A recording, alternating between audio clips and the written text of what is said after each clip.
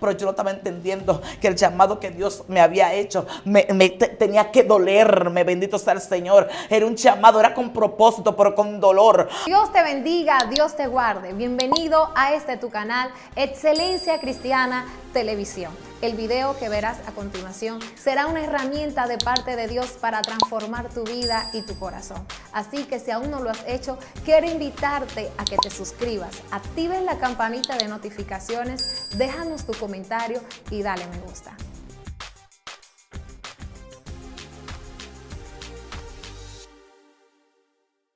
Dios te bendiga, Dios te guarde. Este es tu espacio de Excelencia Cristiana Televisión. Te habla tu hermana y amiga Madeline Ortiz. Estoy feliz de que tú estés ahí siendo parte de esa gran familia, Excelencia Cristiana, una familia que día a día crece y ustedes se hacen parte de este crecimiento. Hoy estoy acompañada de una tremenda mujer de Dios que yo sé que va a bendecir sus vidas. Así que sin más, yo quiero que ella se presente a la audiencia. Dios te bendiga, Madeline. Amén, amén. Dios te bendiga más, Madeline. Dios te bendiga a su audiencia tan hermosa y preciosa. Damos más que gracias al Señor de estar en este lugar. Amén. Así como dijo Madeline, mi nombre es Yesenia Castillo de Lemos y estamos aquí para traerte una palabra. Amén. Yesenia, estábamos hablando detrás de, cámara, detrás de escena, el llamado que duele. Es un tema eh, bien, bien interesante porque cuánta gente con llamado, cuánta gente con propósito, y, quizás tengan la intención de soltar la toalla, así como nosotros decimos, o soltar la asignación que se le dio, porque está siendo un proceso muy doloroso. Pero vamos a ver que aún en Dios el dolor tiene sentido. Así es, así es. Eh, eh, me gusta mucho esta lectura porque estamos viendo en, en, estos últimos tiempos que estamos viviendo, donde el enemigo se ha levantado fuertemente contra los llamados de aquellos hombres que Dios ha llamado con ese propósito. Sabe que hay, personas que eh, muchas veces uno eh, habla con ellos y, dicen, bueno, eh, siento que ya yo no puedo más seguir en esto porque ha sido fuerte. hace unos días hubo un joven, se reconcilió, la gloria de Dios, él eh, atado, atado con ese espíritu de la homosexualidad. Y yo me acuerdo que yo hablaba con él, porque él es como un hijo para mí. Y yo le hablaba y él me decía, lo que pasa es que cuando yo estoy en el Evangelio, paso un proceso muy fuerte. Y como paso ese proceso, no, no, no, como que no aguanto. y, eh, me duele demasiado y tengo que salir, no resisto. Y me decía, pasa que si yo vuelvo al Evangelio, Dios me va a quitar esto, me va a quitar esto, me voy a ver eh, sin nada. Y es, eso eh, me da miedo. Pero vamos a ver aquí en Jeremías, capítulo 1 eh, verso 4, la palabra se eleva a la autoridad del Padre, Hijo y Espíritu Santo, y dice así, vino pues palabra de Jehová a Jeremías, diciendo, antes que te formases en el vientre, te conocí, y antes que nacieses, te santifiqué, te di por profeta a las naciones. Padre, gracias por tu palabra. Me gusta esta palabra, porque a mí me gusta que uno se da cuenta que mucho antes de uno nacer, ya Dios nos conocía. Mucho antes, yo digo que mucho antes que, nuestro, que nuestros padres se allegasen y que estos espermatozoides llegaran, bendito sea el Señor, y hiciera el efecto que tenía que hacer y que, no, y, que y como siempre yo he oído predicar y han dicho que son miles de espermatozoides que entran al útero y, están peleando uno a otro, como quien dice, a ver el, el que entra o el que se queda. Bendito sea el Señor. Y vemos que el propósito de Dios es tan grande que de los miles que, que, entraron, el que se quedó sellado fuiste tú. Bendito sea el Señor. Entonces muchas veces nosotros decimos, pero ¿por qué nací? ¿Por qué esto? Estoy pasando esto. Yo he oído personas que dicen, aún dentro del Evangelio estoy pasando por dificultades. Porque le han pintado un Evangelio que no es. Porque hay, hay personas que le pintan al otro un Evangelio que es de prosperidad. Un evangelio de mucho gozo. Un evangelio que todo es viento en popa. Un evangelio que vas a tener la nevera llena. Vas a tener buenos zapatos, buena ropa, eh, eh, carro. Un evangelio que aunque tú viniste siendo pobrecito, pero te vas a enriquecer. Bendito sea el Señor. Pero yo vengo a decirte que el llamado duele.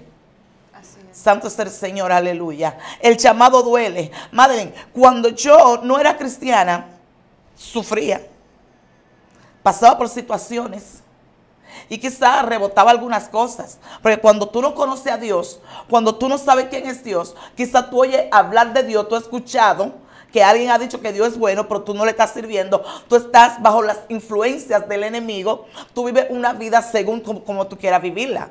Vive una vida de fiesta, vive una vida, bueno, estoy con este hoy, mañana si no quiero estoy con el otro. Vives una vida eh, eh, eh, según a ti te parezca, pero cuando tú vienes a los caminos de Dios, como el Señor le dijo a Pedro, en un tiempo tú te ceñías, bendito sea el Señor. Cuando tú eras joven, tú te ceñías y tú ibas donde tú querías, pero llegará el tiempo que te va a ceñir otro. Bendito sea el Señor. Entonces muchas veces nosotros vemos y decimos y hablamos que Dios me llamó a esto, Dios me llamó a otro, pero nadie quiere pasar el proceso. Pero estamos viendo a Jeremías, que esta recibió el llamado muy gozoso. Y el Señor le dice, mira muchacho, tranquilo, desde el vientre de tu madre yo te conocí, yo te santifiqué, yo te aparté. Y tal vez Jeremías dijo, bueno, el Señor fue que me habló. Quizá alguien está diciendo, me habló un profeta. Y el profeta ha dicho que yo voy a ser pastora. ¡Wow! Gloria. Ya me pongo hasta la ropa de pastora. Soy pastora. Y muchas veces cuando alguien viene y nos profetiza y nos dice que Dios dijo que tú vas a hacer eso, queremos muchas veces hasta pasarle por encima del pastor que está dispuesto en la iglesia. Bendito sea el Señor, aleluya. Pero cuando el Señor da el llamado, el Señor te dice, yo voy a hacer esto contigo, voy a hacer aquello contigo, yo te santifiqué, yo te aparté, la cosa no va a quedar igual. Porque mientras tú estás tranquilo, todo bien. Mientras tú estás cantando el corito en la iglesia, bendito sea Dios, y quizás nadie te está invitando, y tal vez nadie te, conoce, tal vez nadie, bendito sea el Señor, te, tú vas a tener un afiche. Todo está bien, bien tranquilo. Ay. Pero cuando Dios empieza a hacerte conocer, cuando Dios empieza a exhibirte, cuando el reino de las tinieblas dice, bueno, Madeline está a punto de estallar. Yo estoy viendo algo en esa muchacha que es muy fuerte. Ahí va a empezar las persecuciones. Un llamado que duele ya no va a ser igual. No, Dios me llamó, ya yo estoy bien. Estoy en la iglesia, canté, prediqué, se movió la presencia, se movió la unción, ya todo bien. Van a venir las críticas, van a venir los problemas, van a venir los levantamientos. Tu familia muchas veces va a decir, ¿por qué se priva esta? Porque, oye, la primera persecución va a venir por casa. Entonces, muchas veces cuando hay personas que ven que está sucediendo esas cosas, lo que suelen es soltar la toalla, lo que suelen es correr. Porque Jeremías llegó un momento que se martijo a él mismo. Dijo, ¿por qué yo nací varón? ¿Por qué yo no me quedé sepultado en el vientre de mi madre? Y así está pasando en este tiempo de ahora. Nadie quiere sentir dolor. Todo el mundo quiere, Dios me llamó, soy profeta, voy a profetizar. Pero tiene que saber que los profetas sufrieron persecuciones. ¿Acaso tú eres mejor que aquellos? Oye, lo, que tiene el, el verdadero llamado de profeta, tienen que pasar por diversas cosas te van a cerrar la puerta en tu cara. Ay. Cuando tú tienes que decirle a alguien, arrepiéntete, que Jehová te dice que te arrepienta, que tú estás mal. Imagínate tú a ver con David. Es que el llamado duele. Y hay personas que quieren ser bien vistos donde quiera que llegan. Hay personas que quieren que lo tengan en autoestima. Hay personas que quieren gozarse de grandes privilegios. Porque soy el profeta, que fue Dios que me dijo. Y si Dios a mí me habló, oye pastor, que esté tranquilo. No le ponga bozal al buey que trilla. Ajá. Mi arma adora a Dios. Y así está pasando. Porque creen que todo. A veces el pastor te dice, tranquila, sí. Tú tienes el llamado, pero busca de Dios. Ora.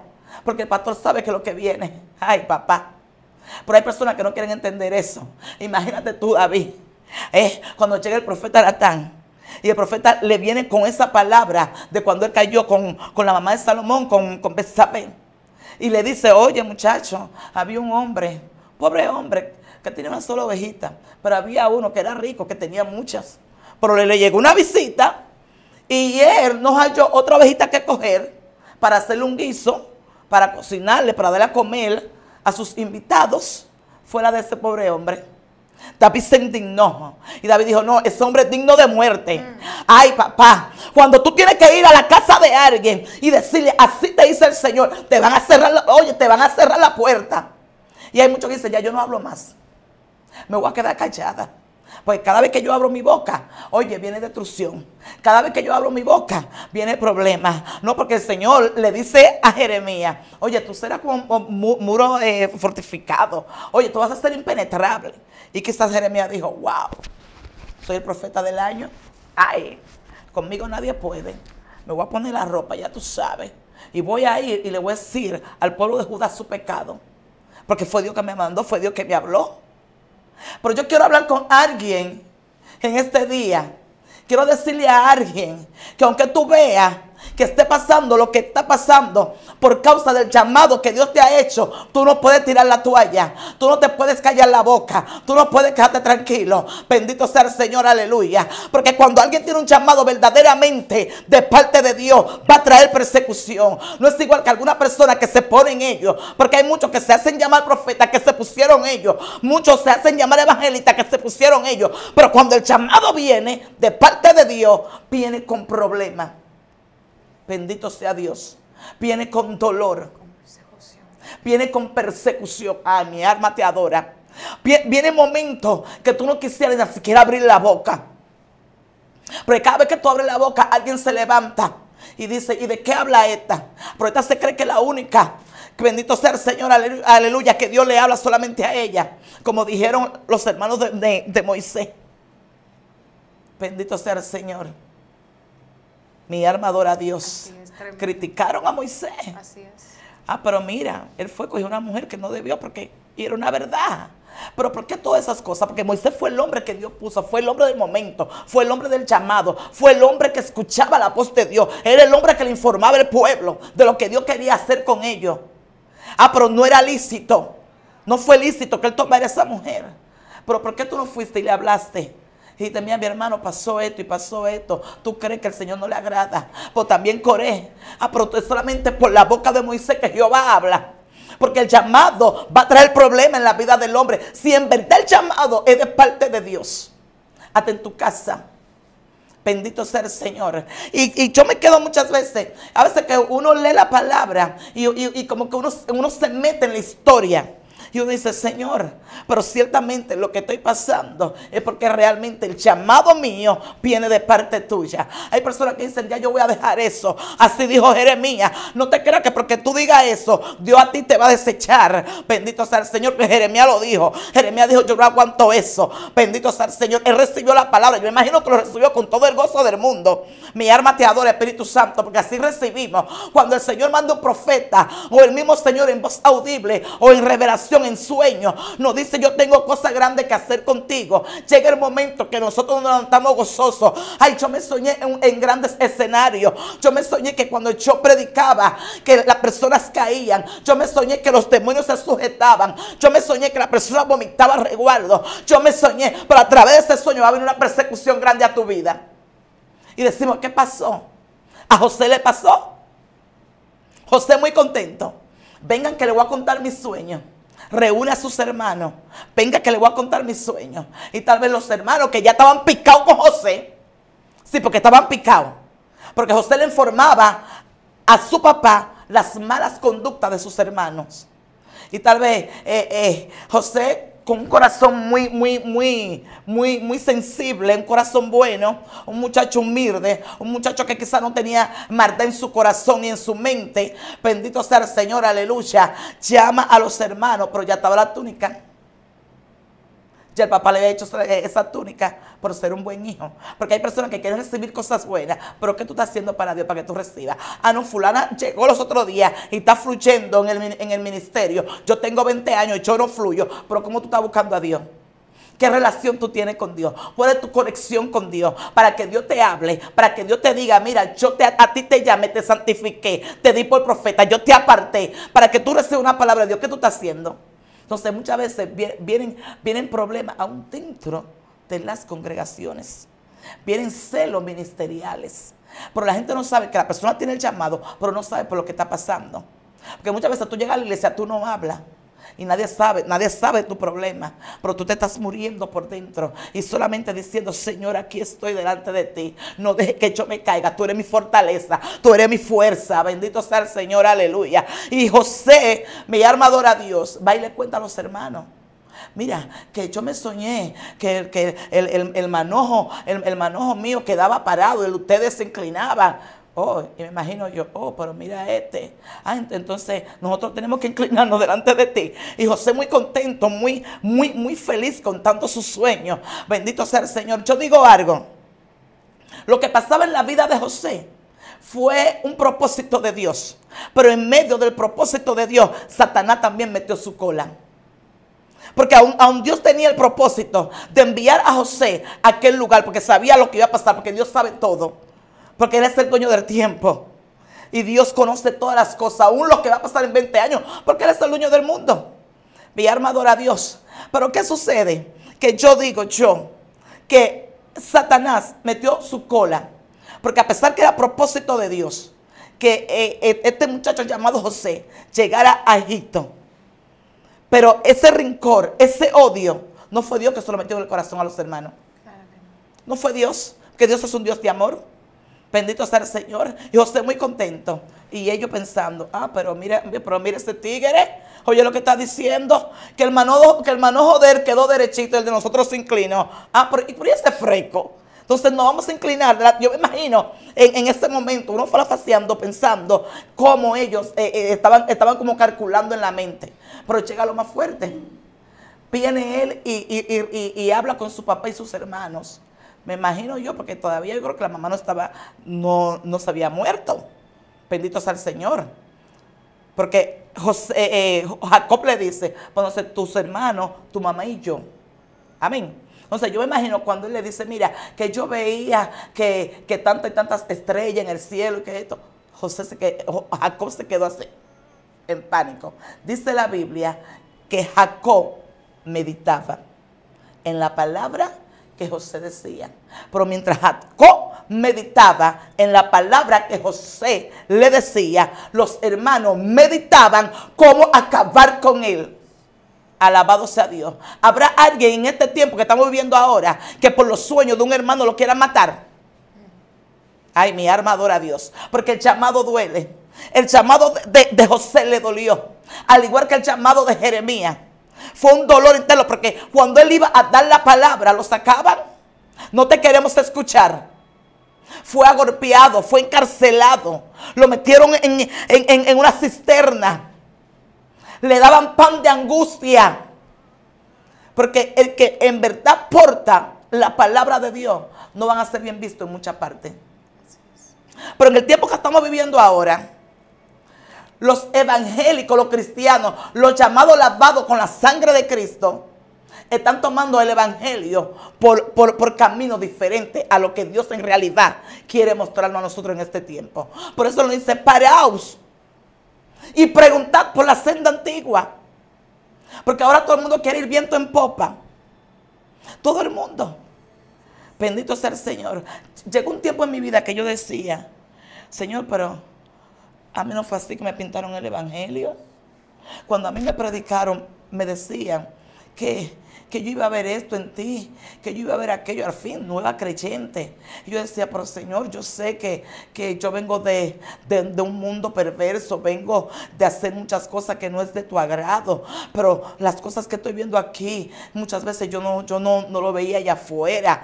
Bendito sea el Señor, aleluya. Pero yo no estaba entendiendo que el llamado que Dios me había hecho me, tenía que dolerme, bendito sea el Señor. Era un llamado, era con propósito, pero con dolor, porque muchas veces las cosas fáciles llegan a tu vida, fácilmente tú lo sueltas, fácilmente tú lo dejas. Pero cuando tú lloras, cuando tú sufres, cuando, cuando tú tienes que guachar la yuca, cuando tú tienes que coger ayuno, oraciones, como decía una hermana, bendito sea el Señor, cuando tú coges un silicio, el silicio, bendito sea el Señor, era con una tela incómoda, una tela negra, una tela que picaba. Y había muchas veces que cogían pieles de animales para hacer silicio. Yo me imagino que cuando esa piel de ese animal comenzaba a sudar en ese cuerpo. Empezaba a picar, no podía estar acostado. Tenía que estar dando vueltas, orando de rodillas. Y, quizás incómodo, porque era incómodo lo que estaba pasando encima de ceniza. Bendito sea el Señor, aleluya. Por el llamado que Dios hizo, por la palabra que Dios depositó en la persona. No podía quedarse tranquilo por un problema que estuviera pasando, por una catástrofe, por alguien que quizás estuviera muriéndose. Se hacía silicio, se tomaba ese silicio, ese sacrificio. Bendito sea el Señor para que Jehová o para que Jehová hablara, para saber qué se iba a hacer, qué iba a pasar. Pero en el tiempo que estamos ahora, queremos la cosa muy fácil. Y es por eso que tuve tantos ministerios desbaratados, por eso que tuve tantos ministerios fracasados. Bendito sea el Señor, porque llegan hoy al Evangelio y todavía no han echado la chuca y ya de una vez quieren un ministerio, quieren salir a predicar, quieren salir en afiche. Y muchas veces dicen, es que a mí me, lo están prohibiendo, es que no, mi amor, que tú tienes que a tu yuca, porque lo que fácil te llegó en la mano, fácilmente tú lo sueltas. Así es. Llegó un momento que Jeremías dijo, no, no, no, pero yo no aguanto eso. Yo no aguanto eso, yo voy a soltar eso. Yo lo voy a soltar, porque Jehová me habla para yo hablarle al pueblo. Cuando yo voy a hablar, hasta, me, me, cierra la puerta por la cara. Porque lo meten preso. ¿Eh? Me meten preso. Lo que yo no comí en mi casa, yo tengo que comerlo ahí por causa de la palabra de Dios. Es que dice la palabra que por la causa de la palabra del Señor vamos a ser vituperados, vamos a ser azotados, vamos, oye, vamos, eh, oye, hasta nuestra familia misma van a desecharnos. Pero en este tiempo que estamos ahora, nadie quiere vivir eso. Un llamado que duele. Es que el llamado de Dios duele cuando es de Dios. Cuando no, cuando no es uno mismo que, que, que, que se, ¿cómo se dice? Que, que se hace llamar. Porque hay personas que dicen, yo soy evangelista. Hasta ponen sus redes sociales, evangelista fulana de tar.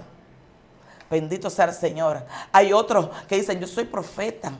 Porque un día se activó el don de profecía, le dijo algo a alguien y quizás se cumplió y ya el pastor no le puede hablar. Yo soy profeta de la iglesia y cuando habla el profeta hasta el pastor se tiene que callar, mentira del diablo. Bendito sea el Señor. Donde hay personas que han guachado la chuca, donde hay personas, bendito sea Dios, aleluya, que han llorado, que han sufrido por causa del llamado que Dios le ha hecho. Mi armador a Dios, aleluya. Porque la cosa de Dios no así, que, llegó y punto. Porque Cristo, para venir aquí a la tierra, mi alma te adora, Espíritu Santo de Dios, y ser crucificado para redimirnos a nosotros del pecado. A Él le tocó mucho latigazo. Así es. Y no solo eso, Madeline sus propios hermanos no creían en él. Hubo uno que dijo, mira, acá, pero tú, tú, tú, tú, tú, eres un bultero. Deja de hacer bulto, muchacho, ya preséntate. Ya di lo que tú eres. Oye. Y grito, no, tranquilo. Y que todavía no ha llegado el tiempo. hay personas que le dicen así a otros.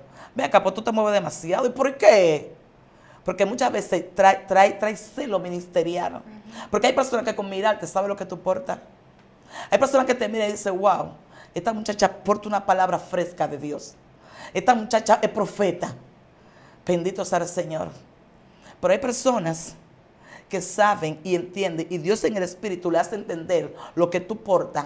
Pero como ya ellos están rezagados, están cansados, ya como ellos no están para nada, como, como decimos en los campos, tan palo para leña, tampoco quieren que tú crezcas en el ministerio. Y empiezan a hacerte la guerra. Y tú comienzas y dices, pero ven acá. ¿Y qué pasó? ¿Qué estoy haciendo? Muchas veces tú piensas que tú estás mal delante de la presencia de Dios. Guerra viene, guerra va, guerra viene, guerra va. En la iglesia, en la casa, con el vecino, con esto. Y a veces tú dices, ya, yo voy a soltar esto. Ahí es que tú tienes que agarrar bien fuerte y decir, mira, oye, no voy a, no voy a mirar atrás ni para coger impulso. Porque que hay algo que el enemigo está viendo que está a punto de estrellar. Hay algo que está a punto de manifestarse. Y Satanás sabe que si se manifiesta el mundo espiritual, el mundo de la tiniebla, corre peligro. Y por eso pone gente, porque ahora mismo estamos, que Satanás no necesita de, de los demonios para hacer la guerra a nadie. No. Dentro de la iglesia está Carmencita, está Fernanda, está Pedro, está Pedrita. No, que eso tranquilo, demonito, pense para allá que yo voy a hacer trabajo. Y le están haciendo la vida imposible al hombre de Dios. Le están haciendo la vida imposible al que tiene el llamado de Dios. Le están haciendo la vida imposible. Y muchas veces dicen, tú no puedes, pero tú no te ves. Muchacha, suelta eso. Te traen desánimo a tu vida. A Jeremías le llegó desánimo. A Jeremías eso le costó lágrimas, porque ese llamado fue con dolor. No es que yo, yo te llamé y ya, ay sí, yo tengo un llamado de Dios, playa, espaguetis, domplines, como dice mi pastor, locrio, vamos a juntarnos en una esquina. Y muchas veces el otro le cuenta la vida del otro después. Siento, siento, rema, oye, yo me estoy transformando. Oye, así te dice Jehová lleno de bollo, lleno de comida, lleno de picapollo. Pero el hombre llamado por Dios está en el secreto, buscando revelación del cielo, diciendo, Señor, heme aquí, dime, háblame, ¿qué está pasando? Pero los que son untados no hacen eso. Y tú ves que vienen bien vestidos, sí, porque ahora mismo en las iglesias son desfiles de moda que hay. El que mejor va vestido, el que tiene mejor zapato, mejor pantalón. Ese pantalón me costó 5 mil. Tú no, tú andas con uno de la paca. Porque una vez el Señor me dio un tema y yo anoté el tema, no me acuerdo muy bien, muy bien, muy bien, que estaba una muchacha predicando y, mientras ella predicaba el Señor me dio un tema y yo creo como que el tema fue, lo tengo anotado allá en, en Coso, como, como que, que, se, que, se, que se quitara eh, eh, el, el, traje, el traje físico y que se vistiera del traje espiritual. Algo por ahí, va por ahí. Y yo dije, bueno, Dios mío, pero ciertamente es verdad. Porque que muchas veces solamente vemos, vemos a la gente bien vestido. Bendito Dios, por fuera tú lo ves muy bien. Pero el traje espiritual hace mucho tiempo que se le fue quitado. Bendito sea el Señor porque están, están, están eh, eh, haciendo cosas equivocadamente, no están, no están yendo a la presencia, no están buscando la presencia de Dios para que Dios le hable, para que Dios le diga. Simplemente se le dijo una palabra, tienes el llamado, tienes esto, pero ¿qué tú estás haciendo con el llamado? Bendito sea el Señor, tú estás sentado en una esquina, Salomón tuvo una revelación y Dios le habla a Salomón y cuando, sal, y cuando Dios le habla a Salomón, Salomón no se quedó tranquilo, Salomón no dijo, ya Dios me habló, Bendito sea el Señor, aleluya. Y ya como Dios me habló, me voy a quedar sentadita tranquilo. Voy a ir a voy a, bañarme en la piscina, voy a coger el sol, voy para la playa, voy a comer camarones allá en el resort y ya el llamado está y ya está todo tranquilo porque Dios me habló. Salomón no, Salomón se levantó de mañana y dice que Salomón hizo sacrificio. Bendito sea el Señor. Pero Salomón quiso indagar más allá. Pero ¿qué estamos haciendo? El Señor nos da el llamado. El Señor nos dice, yo te llamé para cosas grandes. El Señor nos dice, mira, yo te aparté, yo te santifiqué. Ay, Señor, gracias, qué bueno. Adiós. Porque así es que estamos ahora mismo. Gente con grandes propósitos. Gente con llamado fuerte gente, gente que, que, que, dicen, Dios mío, pero, pero yo, yo, estoy, yo estoy todavía en, la orillita y cuando yo hablo, oye, se derrama una presencia terrible, pero tampoco quieren meterse a lo, a, lo hondo porque tienen miedo al proceso, tienen miedo a la guerra, tienen miedo al levantamiento. Bendito sea el Señor porque quieren la cosa fácil. Es que cada llamado que viene de Dios te va a causar dolor, aunque tú no quieras aunque tú no quieras. Yo experimenté mucho dolor en mi vida. Y yo hablaba con el Señor y decía, Señor, pero desde mi niñez estoy, estoy, estoy sufriendo. Vengo al Evangelio y digo, wow, ya, prosigo sufriendo. Ahora, reconociendo que el sufrimiento que tengo ahora es, es algo leve, es algo momentáneo. Bendito sea el Señor. Porque el Señor mismo dijo que Él venció el mundo. Y si Él lo venció, nosotros somos más que vencedores. Y yo sé que lo que estoy sufriendo ahora provoca una esperanza. Y yo sé que tengo un soporte. En el mundo no. En el mundo quizá yo pueda decir Dios. Pero el compromiso de Dios ahora conmigo no era el mismo cuando yo estaba en el mundo. ¿Eh? Porque ahora yo soy hija. Cuando yo estaba en el mundo, yo estaba, estábamos divorciados de Dios. Estábamos de espalda. El pecado, la desobediencia. Pero ahora Cristo vino ¿Eh? Bendito sea el Señor. Y fue a la cruz del Calvario, llevó nuestro pecado. Bendito sea el Señor. Nos hizo libres, se rascó el velo, nos dio acceso. Ahora, ¿qué está pasando? Ahora yo puedo ir delante de Dios a hablar con Él y decirle ahora, eh, cuando yo tengo algo, aunque yo, aunque yo me siento que me estoy muriendo, que yo no aguanto, estoy llorando, estoy sufriendo, de repente, de repente siento que alguien me pasa la mano y me dice, mija, tranquila, estoy contigo. Pero en el mundo no estaban así. En el mundo, cuando teníamos algo que nos molestaba, nos dolía, agarraban, nos tomaron un bar, nos bebíamos un par de cerveza y que supuestamente el sufrimiento se iba. Pero cuando llegaban a la casa estaba el mismo problema, el mismo lloriqueo, el mismo dolor de cabeza. Pero ahora en Cristo es diferente. en Cristo hay paz. En Cristo hay amor. Bendito sea el Señor. En Cristo estamos en paz con nosotros mismos. Porque si no lo estamos, tenemos que revisarnos. Bendito sea Dios, aleluya. Y por más fuerte que esté la situación, por más, por más guerra, por más tormenta, en que la barca se, se esté partiendo en dos, tenemos una esperanza viva. Que el que nos llamó tiene cuidado de nosotras. Y Él está ahí. Aunque no, aunque no, no, no lo sentamos, aunque, aunque, aunque decimos, bueno, parece que se fue, se apió de mi barca, pero Él está ahí tranquilo. Entonces, por más problemas, por más dolor que haya, por el llamado que Dios te ha hecho, tú no puedes soltar la toalla. Bendito sea el Señor. Imagínate que, que José, cuando lo sacan del, del, del pozo, le dijera a los hermanos, ustedes son unos hijos de... Ustedes no son hermanos míos, José sumiso y tranquilo. José se fue. Bendito sea el Señor. Llega a la casa de Potifar. Mira lo que pasa. Pero después llega, después que sale de la casa de Potifar, entra a la cárcel. Porque hay cosas que tú no vas a entender. Dios, el Dios Todopoderoso, te da el llamado, te habla y te dice, voy a hacer algo grande contigo. El enemigo que no se queda atrás dice, él tiene el llamado, pero yo lo que voy a hacer, le voy a tronchar el camino. Bendito sea el Señor. Porque el propósito de Dios no era que José se quedara en Dotán. Bendito sea el Señor. Que José llegara y se devolviera. El propósito era llegar a Egipto. Y hay personas que tienen propósito en su vida y ellos mismos, con, su forma, con su actitud, lo están desbaratando. Y Dios está diciendo, pero yo la llamé para darle, para hacer cosas grandes con ella, cosas grandes con él. Pero se ha quedado sentado, se ha quedado esquelético, se ha quedado frenético, no está haciendo nada. Solamente que desde que llega una prueba se pone en una esquina a llorar. Entonces, ¿cómo yo voy a poder usar ese vaso? Bendito sea el Señor. Pero José llega a Egipto ¿Dónde era el propósito? Llegar a Egipto. Ese era el destino que Dios quería llevar a, José. Y el destino que Dios quería llevarlo a, muchos de nosotros. Y nos estamos quedando muy tranquilos. Y Dios está diciendo, no, es aquí. Estamos diciendo, no, que yo no puedo. Es que, hay, hay muchos problemas, Señor.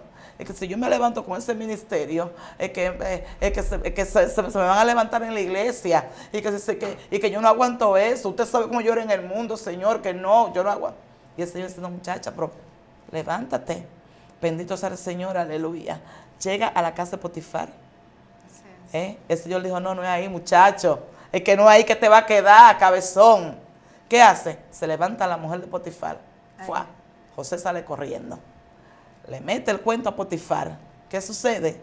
Meten a José a la cárcel. Ay, y quizás José, ay Dios mis hermanos, mira lo que hicieron. Ahora llego ahí, allá mi comidita tranquila, mira lo que hace esa mujer ahora en la cárcel. Tal vez diría José, bueno, aquí me muero yo. Y el Espíritu Santo, no muchacho, tranquilo, es que yo te voy a servir. Es que lo que pasa es por el llamado que tú tienes, por lo que tú portas, por lo que yo voy a hacer contigo, es que tú tienes que ser pasado por el fuego. Eso no es así tranquilo, muchacho mi alma adora a Dios. Llega, llega eh, eh, eh, todo preso. Le cuentan esa revelación a José. José, un muchacho lleno de Dios con un corazón hermoso. dice la palabra que David tenía el corazón conforme al corazón de Dios. Pero yo digo, yo, no lo dice la Biblia, que este muchacho llamado José tiene un corazón hermoso. Un corazón que nunca él dejó que se llenara de raíz de amargura. Él tenía un filtro. A José Dios le puso un filtro en el corazón. Porque hay cosas que Dios va a hacer contigo que va a tener que poner un filtro en tu corazón. Que si no, lo si no te pone un filtro, vas a fallarle. Wow, siento la presencia de mi Padre con esa palabra. Porque va a haber tanto levantamiento y va a haber tanta persona en tu contra que tú vas a pensar que en tu contra, pero es, para, llevarte al propósito de Dios. Y muchas veces Dios va a tener que poner ese filtro para que toda la basura se quede por arribita. Para que no se dañe tu corazón. Y así hizo Dios con José. Y José llega a la cárcel, le cuentan el sueño. José le dice, mira, este sueño que tú me contaste así, así, ah, te va a mochar la cabeza, muchacho.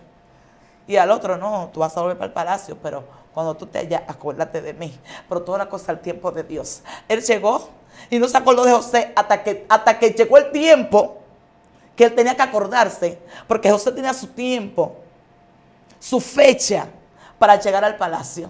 Y muchas veces nosotros nos vemos pasando por dificultades. Dios me dijo que yo iba para las naciones, pero yo no he visto nada. Tranquilo, muchacho. Es que tú tienes que pasar por alguna cosita, tú tienes que ser mordiado. Dios tiene que trabajar en ti, es que crudo no te va a llevar. Bendito sea el Señor. No, yo estoy sufriendo demasiado. Ese llamado, yo no sé. Como que no fue Dios. Yo voy a soltar eso. Y hay muchas personas que están soltando el llamado de Dios. Están, están dejando al muchacho en una esquina para que se muera. Que dicen, ya yo no puedo más. Se me levantó el pastor se me levantó el esposo, se me levantó la esposa, que los hijos, que los nietos, que esto, que aquello. Y nos llenamos tanto de tantas cosas que decimos, Dios no me llamó, Dios no está conmigo, Dios no esto, Dios no aquello, porque queremos toda la cosa fácil, no queremos pruebas, no queremos dificultades, no queremos nada de eso. Bendito sea el Señor. El Señor llamó a Moisés, mi alma adorada, y Moisés, yo no sé hablar, no, proponga a mi hermano, el que cuando el propósito es contigo, es contigo, Dios no lo va a hacer con otra gente, aún tú no sepas hablar, el que dio la boca te, oye, el que dio la boca te va a hacer hablar, bendito sea el Señor, aleluya. Pero Moisés en aquel lugar, ¿cuántas cosas no le hicieron a Moisés? Mi arma te adora. Moisés sube al monte, dura el tiempo que duró, cuando baja, ¿qué hay yo? Un becerro, un, becerro de oro y, ellos adorándolo. ¿Eh? Un desorden. ¿Eh? Y, entonces, si Moisés en ese momento hubiese dicho, yo solté la toalla, ¿Eh? Ya yo no puedo más. ¿Qué iba a pasar con ese pueblo? Ay. Entonces, hay muchas personas que tienen llamado, que Dios lo ha puesto al frente y están dejando el pueblo lo están dejando, lo están soltando. ¿Por qué? Porque están adoloridos, porque ya no aguantan más, porque ya eh, eh, eh, la crítica, no porque la economía, no porque la enfermedad, no porque esto, no porque aquello, porque yo no aguanto, pero yo no sé, porque hay personas que, hay, hay, yo he dicho eso siempre, a veces predicando, yo he dicho, donde, donde muchos murieron, tú no vas a morir. Madre, no vas a morir. cuando Pablo llegó a esa isla, y que, y que e, esa serpiente se le envuelve a Pablo y muerde a Pablo, para los que estaban ahí, dijeron, ese hombre es un hombre muerto. Porque ellos vieron a muchos morirse. ¿eh? Pero Pablo no era igual que, que, aquellos que se murieron ahí. Es que donde muchos están muriendo, tú no vas a morir. Hay muchos que van a decir, pero ven acá, ¿cómo ella, cómo él ha aguantado ese proceso? Arma mía, adora a Dios. ¿Eh? Hay personas que están diciendo, si ha sido yo hace mucho tiempo, yo hubiese descarriado, pero tú no estás descarriado. Oye, no, porque que, desde que le profetizaron ese llamado a esa mujer, ella no ha visto refrigerio, pero está de pie todavía. Ella no ha muerto. Bendito sea el Señor. Y Dios crea una enseñanza en este día que por más dificultades, por más pruebas, por más situaciones que haya, porque ¿quién te ha dicho a ti que la prueba no va a llegar? ¿Quién te ha dicho? Mientras estamos aquí en esta tierra vamos a tener pruebas. Mientras estamos aquí en esta tierra vamos a oír que nos van a criticar. Y muchas veces lo que a ti no te gustaba que te hicieran en el mundo te lo van a hacer. Es que tú tienes que ser mordiado. Porque fuimos separados de la gracia de Dios por la desobediencia desobedecieron a Adán. Entró el pecado, por el pecado la muerte. Pero que viene, viene el segundo Adán, bendito sea el Señor, y la relación que habíamos perdido con Dios, vuelve otra vez a conectarnos. Pero entonces, ya el daño que hubo con el primer Adán, Dios tiene que perfeccionarlo. Bendito sea el Señor. Entonces, con todo lo que estábamos en el mundo, haciendo y deshaciendo, ¿eh? Ya e, e, esa vacía que somos nosotros se dañó. Entonces cuando vamos a la mano del alfarero, que el alfarero tiene que volver a desbaratarnos, hacernos de nuevo, a la perfección como él quiere, va a causar dolor. Entonces te dice, sí, yo te llamé, pero tú tienes alguna cosita que yo, yo voy a tener que caquearla y sacarlo de ti. Y muchas veces no nos gusta. Ah, no sé, por eso yo no quiero llamado. Yo he oído personas. Si es por eso, mira, yo, mira, que me dejen atrás en el banco, que ni me den oportunidades. Porque de verdad, porque desde que a mí me pusieron como presidenta de dama, eso no ha sido fácil. Y salen corriendo. ¿Sabe algo, Yesenia? Que este tema ha estado poderoso. Muchas personas yo sé que se están identificando con esta palabra. Y mientras tú hablabas, yo pensaba cuando el aceite eh, aquel instrumento que es de tanta bendición, o aún hoy por hoy, el proceso que pasa, son, es tomado del árbol, la mata, ¿verdad? esto es llevado al pisoteador para que lo pisen, o si no, llevado a una prensa de olivo para que saquen la esencia. Pero para que esta semilla crezca, también tiene que ser enterrada. Y luego que muere, luego que muere y tiene contacto con el agua, es que resurge, pero resurge para que salga una planta y esta planta mientras va creciendo, va creciendo y un proceso de crecimiento que duele también. que duele para este, para este, para este árbol, pero más adelante vemos que está dando frutos que va a alimentar a otros. Quiere decir que tu dolor en este momento tiene un propósito. Así es. Tu dolor tienes una asignación para qué? Para multiplicarte, para bendecir a otros. El aceite en la antigüedad se utilizaba para ungir a un rey. ¿Quién sabe si el dolor que estás pasando ahora es para levantar ministerios? Muy fuerte. Eh, el aceite de la antigüedad se utilizaba para ungir a los enfermos. ¿Quién sabe si tu dolor que está pasando ahora te va a llevar a, grandes lugares, a los hospitales, para proclamar la sanidad de Dios? El aceite se utilizaba para apartar lo consagrado, lo santo, ante el templo del Señor quién sabe si los instrumentos que están siendo rechazados por muchos se convertirán en santos a través de ti, pero es a través de un dolor, es a través de un proceso de crecimiento. Así que no menosprecie lo que tú estás pasando. Así es. Yesenia, sin más, yo quiero que tú hagas una oración a favor de esta audiencia, esta gente que está ahí, identificándose con esta palabra que Dios ha depositado en tu espíritu. Amén. Así es. Sí, así es, Madeline. Eh, eh, tú decías algo que hablabas del grano el grano ciertamente cuando, cuando eh, eh, eh, cae en, la tierra, cuando, cuando es sembrado en esa tierra, tiene que morir. Y después que ese grano muere y que, y que empiezan a echarle agua, empiezan a cuidarlo, y entonces ya ese árbol ya empieza a salir, empieza a florecer, empieza a dar fruto. Pero después de eso, por lo menos tú mencionaste el olivo. Pero después de eso, que esté cosechado, después tiene que ser pisoteado. Bendito sea Dios, tiene que ser machacado. Pero cuando es machacado, y la Biblia dice, aceite puro de olivo que sea machacado, no cualquier aceite. No un aceitico que, que, tú vas a pasar en una maquinita y ya. Tiene que ser machacado, pisoteado, lo que no quiere mucha gente en este tiempo. Queremos un ministerio fuerte, queremos un ministerio que, queremos rugir, queremos ir a las naciones, queremos ver los muertos levantarse, pero no queremos ser pisoteados, no queremos ser machacados. Porque lo que, lo, lo que a mí me impacta del olivo, que aparte, después que ya lo convierten en aceite, que ungen a los reyes, ¿eh? ungen a los profetas, con, con ese aceite. Pero también dice la palabra que era usado para qué? Para el alumbrar. Y con, y con ese aceite se alumbraba día y noche y no podía faltar. Bendito Dios. Pero entonces tú no quieres ser pisoteado, no quieres ser machacado, tú quieres que Dios te entregue. Y cuando Dios te entrega, dice, toma mi hijo, toma mi hija. Cuando tú tienes eso en tu mano, ya tú crees que ya todo está. Entonces, cuando viene el proceso, viene el dolor, tú quieres salir corriendo. Y Dios te está diciendo, no corra. Que lo que tú estás pasando es por causa del llamado, porque tengo cosas grandes que hacer contigo. En este día yo, yo necesito que, que alguien entienda que aunque tú te veas tirada en el suelo llorando, aunque tú digas, mira, me están maltratando en la iglesia esto, en la iglesia aquello, no mire a nadie, no mire ese oponente, porque tú estás mirando al oponente equivocado. Lo que Dios está haciendo contigo bendito sea el Señor, es para llevarte a un excelente peso de gloria.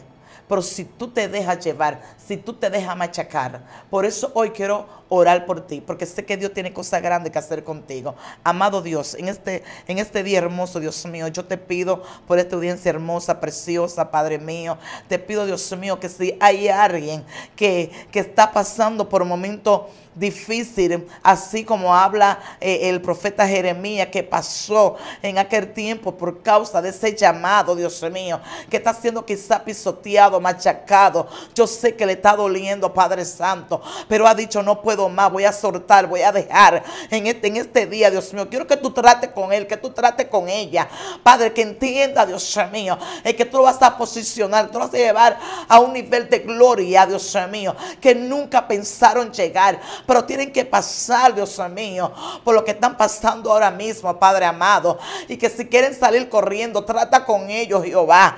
Espíritu Santo de Dios, que entiendan, Espíritu de Dios, que aquellos antiguos, Dios mío, tampoco se la pasaron bien, Padre Santo, que tuvieron que ser pasados por, por diversas cosas, Padre amado, pero soportaron, aguantaron, Jehová, y hallaron la corona de vida. Espíritu Santo de Dios, trata con ellos, porque sé que es fuerte, pero contigo se puede. Padre, en el nombre de Jesús.